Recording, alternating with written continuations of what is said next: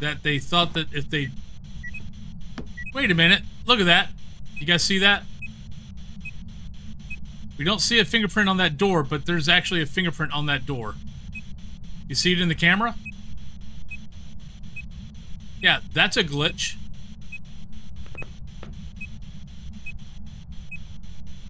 So yeah, fingerprint in the camera view, but we don't see a but we don't see it.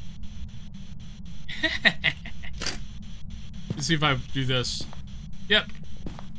So we do have fingerprint. Okay. So it must have touched it touched that door, not the other door. Okay. That was fun. And I think I just saw an orb. Yep, and we got an orb.